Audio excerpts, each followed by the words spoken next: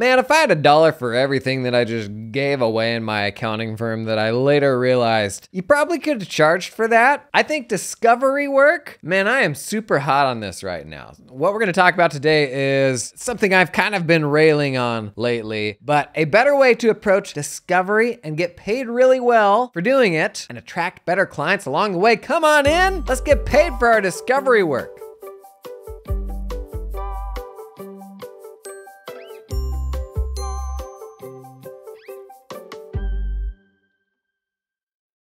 Okay, so I railed on this in the main channel video this last Sunday. I'll put a link to it in the show notes. The video was basically like kind of a book review on Alex Hormozi's $100 million offers. And most of us won't read that book, honestly, because it's written by Alex Hormozi. And I get that. And he is just peak meatball sweaty internet think boy. But we went through this book in the book club in my accountant community. And it is honestly, it's been like transformative for me. And I want to go deeper on this because most of us, when we are taking in new clients, we are doing this sort of upfront due diligence as part of the sales song and dance, but it's not something that you ever get paid for. But I actually think there's a different version of that that both attracts better clients and you can get paid for that's vastly better than what most of us are doing. And I should preface this with saying paid diagnostics and paid onboarding, that sort of thing. Like that's not necessarily a new thing. And I know folks that do it well and charge astronomical amounts for it. But the big unlock for me, like the really, I think, like big realization I've come to is if I can stand up this initial offer, this initial project ahead of them becoming ongoing clients, it's actually a fantastic way to learn whether or not I'm really going to want to work with that person long term, but then also, as I said in Sunday's video, to pre-dazzle that person. Because normally when I'm bringing in a client, they don't know anything about working with me. Like they have virtually no information. They don't know if that experience is really going to be any different than the person they worked with before. But if I take them through an initial project that solves some sort of problem for them and they have a phenomenal experience, they are not going to be able to imagine ever working with anybody else. They are going to be like foaming at the mouth to get you to do their accounting work, to get you to do their tax work. And it completely resets the fees that I think you can charge to a client coming in. Because normally, when they just come in the door and they have no experience working with you, they're benchmarking you against their last solution, against all the other people that do the same things. Even if you're a niche firm, they haven't like gotten a peek into the reality of working with you yet. But if you are on the heels of a successful project, when you set those beginning kind of initial fees for ongoing work, you are living in a completely different paradigm. And right now, how many projects and clients do we struggle with who we brought in at a rate that we are no longer happy with? That starting rate that you bring someone in at, in many ways, kind of anchors you over time if you're not really doing the hard things when it comes to increasing that when you need to increase it. But the notion of being able to bring people in at, like, honestly, at like 2x the fees from day one, that's huge. A firm running a 50% margin, if you 2x the pricing, that is 3x the profit for a a single project. So this doesn't even need to be like the thing that revolutionizes your entire firm or or you know, shift exclusively to taking clients this way. But if you rethink the intake process to build it around these problems that you solve for clients in an initial project, can we build that fandom into the client so that they're like, I want to work with you, whatever it takes, so that when those clients come in the door from day one, they're paying way higher rates than the way that you're currently bringing those clients in now. And oh, by the way, you just got paid for that discovery. You just got paid for all of the work that led them to that place of being willing to pay higher rates. Now,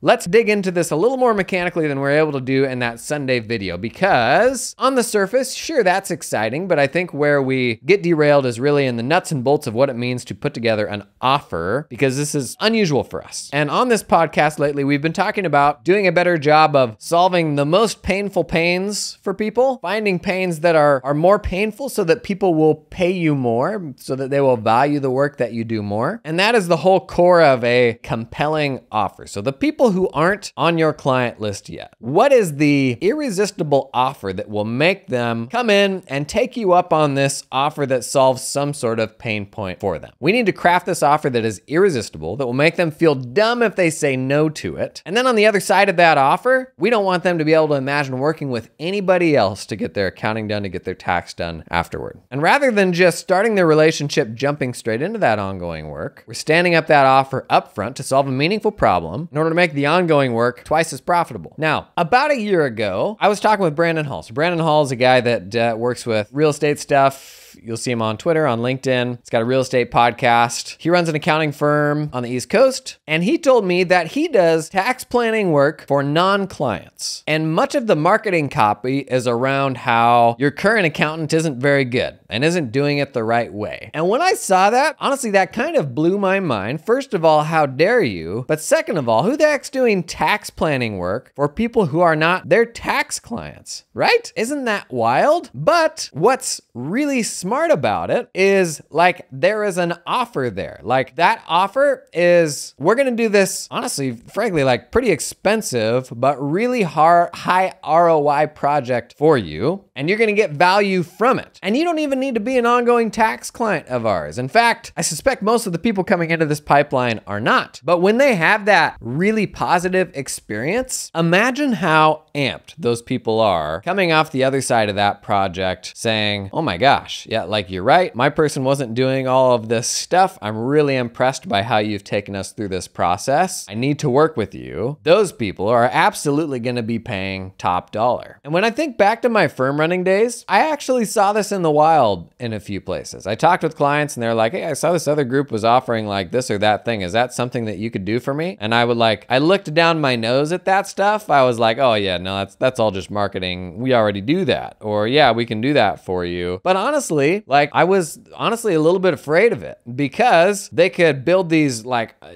I don't know, kind of really exciting value offer, like propositions around stuff that fundamentally was probably work that we were already doing or work that we just weren't framing in as appealing of a way. And so, I mean, that's totally how accountants are, right? Like we'll see that stuff and we'll look down our nose at it. And the way I used to think about it was, man, they must be hurting for work. They must not have things figured out like we do because we don't need the work, right? But I shared the other day kind of like my mental shift around, I think almost all accountants, you know, who've had their doors open for a few years are right now in a place where they're like, why would I go out and market? I already have more people than I can help. And the reality is, you should always be marketing because there are always better people that could be on that client list. There's always people who are more pained by the problems that you solve than the people who are on the client list now. And so, in my opinion, at this stage, like I should always be investing in marketing until I've found the 100 clients clients in the world who most value me, it's only at that point that I should stop marketing. And the reality is, like, I'm never gonna find that list of 100 people. So these people were out there doing this thing that I didn't really understand. They had like built this kind of like attractive offer, and it was an accounting firm, but that offer didn't really have anything to do directly with accounting or tax, or at least didn't nicely slot into the traditional bookkeeping or tax services that I don't know we're all kind of conditioned to offer. But it was a it was like a very dressed up version of here's a thing that an accounting firm can do for you. And I think most of us just look down our noses at that sort of thing because we're plenty busy as it is. But that's what was happening here was they had landed on this sort of compelling offer that they could run a client through before they became an ongoing client. Then they would know whether they actually wanted to work with that client on an ongoing basis or not. And how many times have we gotten into an engagement a few months and been like, this person's a total a-hole or there's this or that. And now we don't actually want to work with them. So there's that. It's helpful for you to be able to filter, but it's also because I genuinely think on the other side of that initial project, you can get people to pay you 50% more, 100% more than they otherwise would have on day one. So, going a little deeper on crafting an offer within your firm. Because the more I've thought about this, I don't actually think that I want my landing page now to be like, oh, yes, we do tax and accounting. And, and, and a, a good version of that is, you know, the problems that you solve for a specific type of person. But I think I actually want to stand up my landing page to here's an offer, here's a problem for you to solve. Because I would rather people come through this offer project than I would have them come into, hey, can you close my books for last month? I would much rather start with the offer project so that they understand understand how good we are. And again, prerequisite here is actually doing good work, actually taking good care of people. And it's not a super high bar, but I want to start them with that project so that they are blown away. And then I pull them into the recurring work at like twice the price. So we talked about what makes up a good deal or a good offer in that Sunday video, but I want to go a little deeper because this is foreign to accountants. It was definitely very foreign to me. And to be honest, if I hadn't read through the entire book, I would probably super be turning my nose up at this whole concept still. But there are five components to an offer and how you kind of stack those components to make that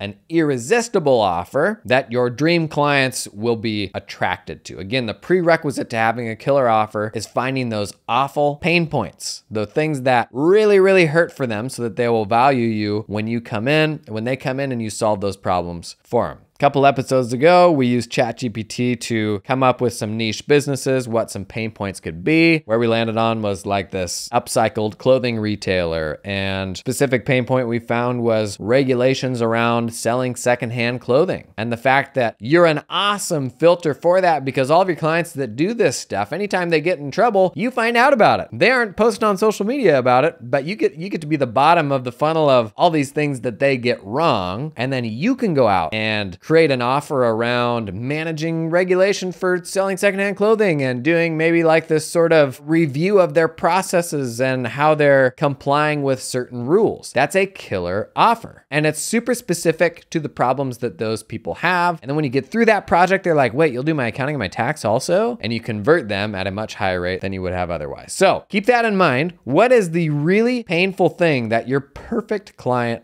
feels. And right now, that could be one client on your client list where you're like, man, I want more of this type of client. What is that really painful pain that they have? Is there a way that we can craft an offer around it? This episode is sponsored in part by the fine folks at Cloud Accountant Staffing. Do you hire accountants?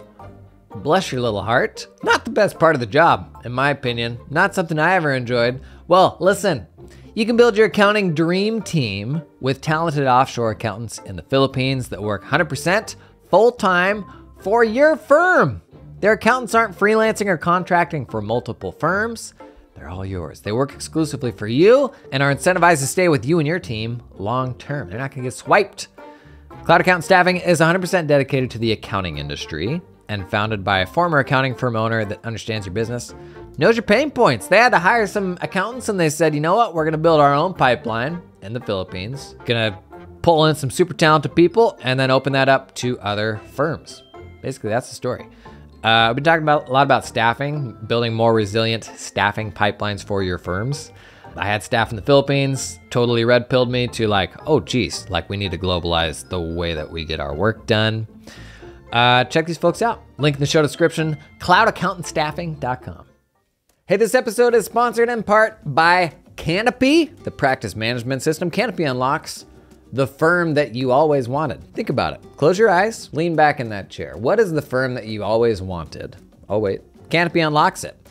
And they do this by unclunking accounting firms with an end to end solution that makes your tech stack feel a little less stacky because it's end to end. Putting our customers first with world class user experience, support, education, and innovation rooted in customer feedback working and working well anywhere and for any size or type of firm, wherever you are now and wherever you're going. Multiplying your efforts so your practice requires less proverbial midnight oil. You know, I sidebar, if you go to the conferences, Canopy's got like they always do some like really good little like sort of you know the stuff that they use to like trick you into coming to the booth. Well, this year they've had like Legos out there. Maybe, maybe you double down on the midnight oil thing, you know? Maybe like, uh, I don't know, give away a little, little, uh, you know, little actual midnight oil. I guess it would need to burn too, but that one's free. I think it's a good idea. Delighting your clients with a modern, easy to use portal that helps you get the info you need when you need it. That is Canopy. Check out the link in the show notes to learn more.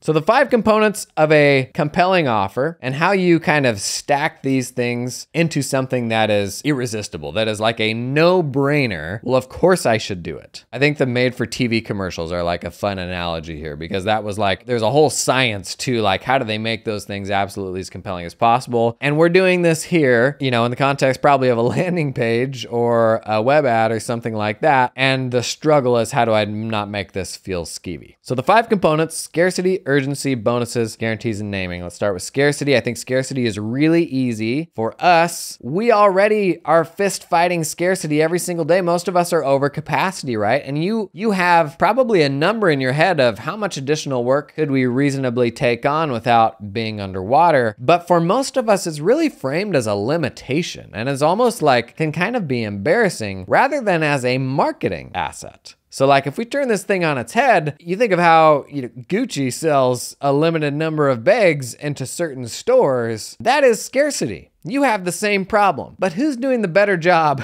of, of marketing that exclusivity? So we don't do anything usually to put in front of people, you know, if they're doing renewal, if you're doing renewals and you're trying to get them up to that next tier, maybe, we generally don't do anything to say, here's how many people we can get onto that next tier still, you know, by X date. And the reality is, if you've got 100 clients and 20 of them are at that top tier and you want to get more up, and your capacity is for 26 people to be at that top tier, then man, in your your proposal or something like that, say, you know, 20 of 26 slots taken, six slots available. I think the very, very best version of this is something that updates as those go away. So, like, the whole goal here is you need to put that scarcity in front of them, make them aware of it. And I try to be really mindful of this not like this not being a slimy thing. Like, it doesn't feel, none of this feels natural to professional services, right? Like, and I totally get that. And that's like the whole reason I'm recording this episode is I want to kind of cut through that because where I was at before this book to after this book is very different. And even many of the examples in the book are for like fitness coaches and stuff like that. I had a joke in the video that was like, I'm not a diet pill, I'm an accounting firm. So I get that. But I think there's, I do think there's non scummy ways that you can do this. So specifically for scarcity, the more like real time, the more you can show them how many slots are left, the more real you will make that feel because people have this uh,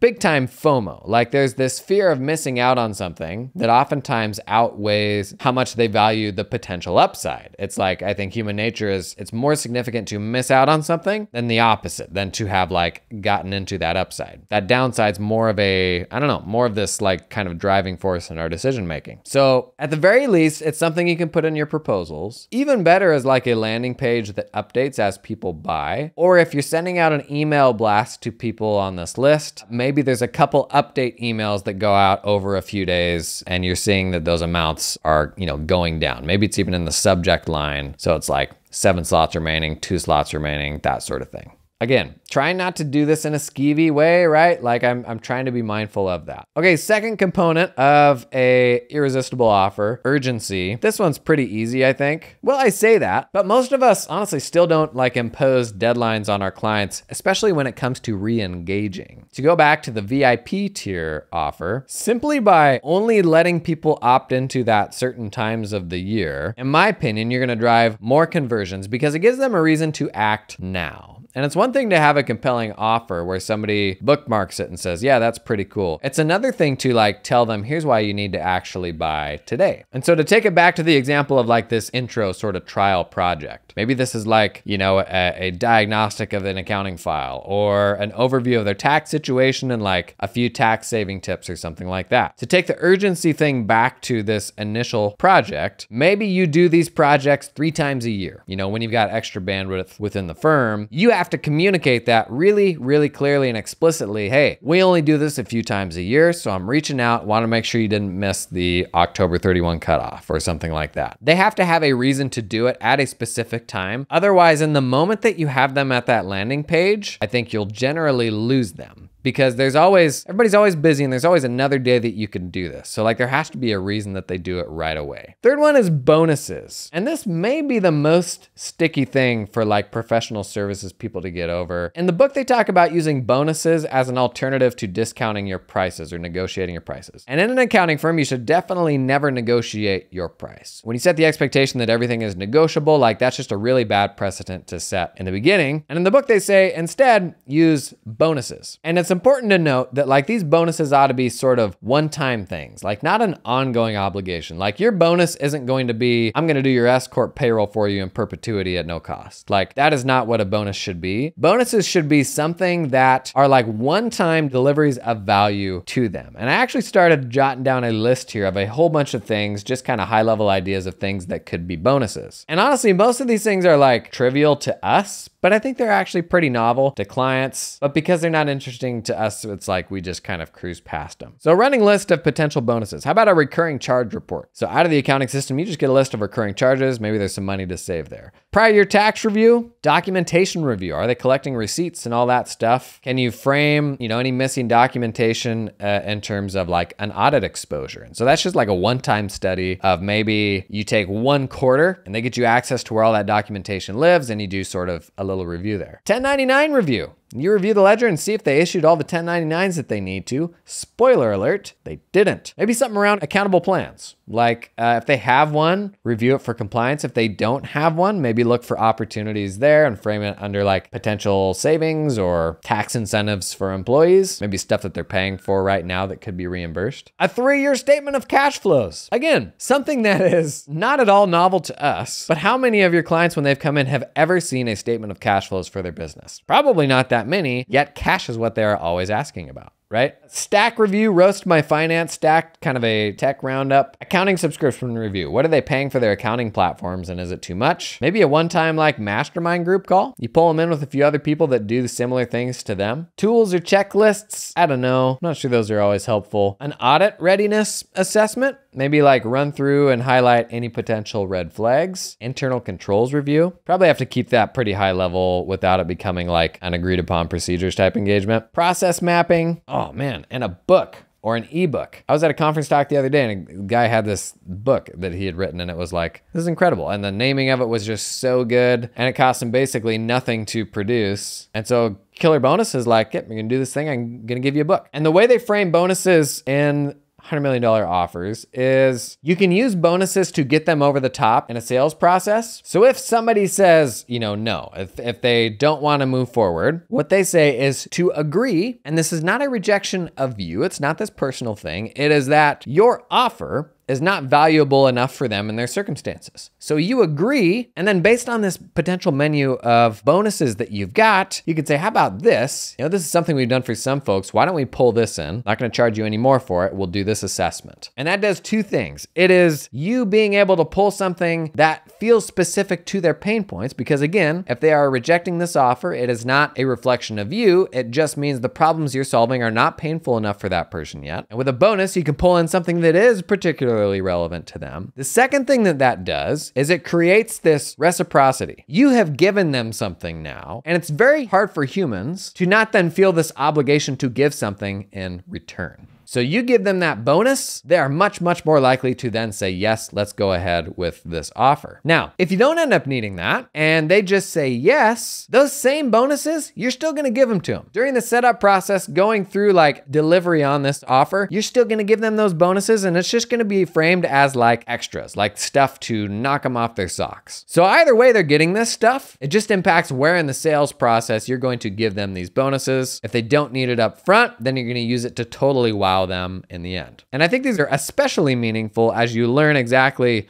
what exactly is the most painful thing for this person, and you can pull a couple of those bonuses that are very relevant to the things that you discussed. Okay, fourth, guarantees. This is a hard one for people. The idea that you're gonna give some unconditional or semi conditional guarantee. But when you're thinking of an offer on a landing page, you want this offer when somebody goes through it to be like, well, geez, what do I have to lose? And this has tricked me before. You know how many times I've bought something that's like, if you're not happy with this, we'll give you 100% of your money back, no questions asked. And you get to that that and you're like, well, geez, it must be good for them to say that. Or like, no, if it really does stink, then I'll get my money back. So what do I have to lose? I'm either going to buy the thing and get my value out of it, or I'm going to buy the thing and not get my value out of it and get the money back. And the reality is, you know how many times I bought those things and then never actually went through the course or whatever it was? And I have never asked for a refund. So when we think of these guarantees, we're like, oh well, yeah, I don't want to get taken to the cleaners by some some person abusing that. Vast majority of people there are not going to do this. But even if they did, aren't you now happy to know that they are that kind of person, right? And it's going to prevent you from doing the ongoing work with them. Dodged a bullet on that one. But ultimately that guarantee is going to increase the conversion rate of that offer so much that even if you do have to cut a check for some refunds, no big deal. That's fine. It's worthwhile because you're closing more as a result result of offering that guarantee. I will also say, I think part of my fear here, honestly, if I'm being totally honest, my fear around offering a guarantee, some of it would stem from a disagreement in the value that I assigned to the work that I did and the value that the client assigned to the work that I did. That happened a lot. I would think something was really valuable. They didn't. And ultimately, in that case, then the offer isn't good enough then I'm not actually say like solving something that is a meaningful pain for them. And so part of my fear was that it would be this way for them to actually say like, no, sorry, like that thing you did for me actually wasn't valuable. And I think that was a lot of like why I would struggle with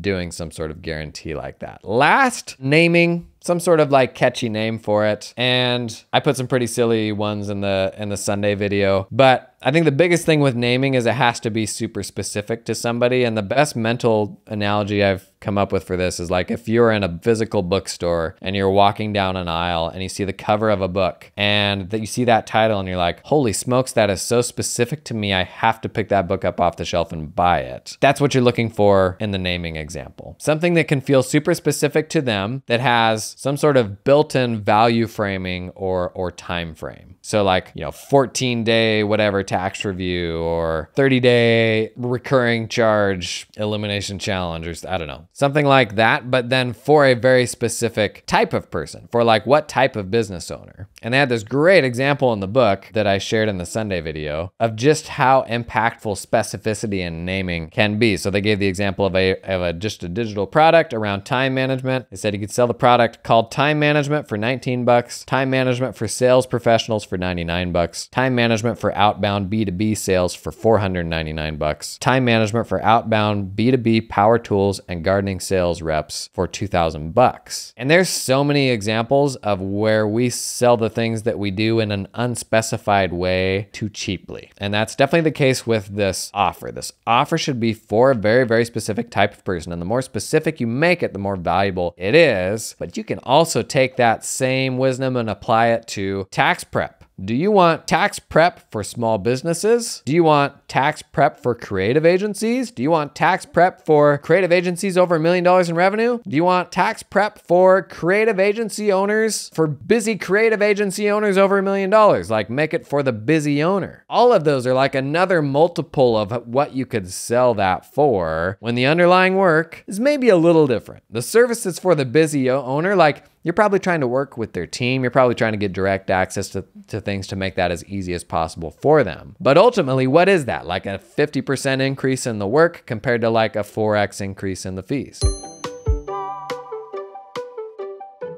This week's episode, it is sponsored in part by Copilot, the uber flexible client portal. Copilot lets you provide clients a one-stop shop experience, not a strip mall. This ain't no strip mall. You go straight in, everything you need, one stop shop with a client portal that streamlines messaging, payments, file sharing, help centers, custom app access, and more, Copilot Automations is a set of pre-built workflows available on Zapier and our API that helps you save time, reduce human error, and run more streamlined business. You can set up automations that streamline sign up, like new client sign up, onboarding, intake forms, and more. Check out some of the automations you can set up with our API or with Zapier. Assign forms to newly activated Copilot clients? Okay.